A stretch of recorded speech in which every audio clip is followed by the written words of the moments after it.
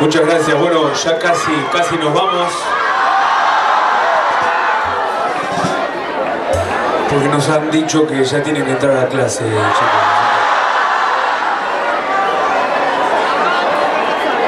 Hay examen. Saquen una hoja, por favor.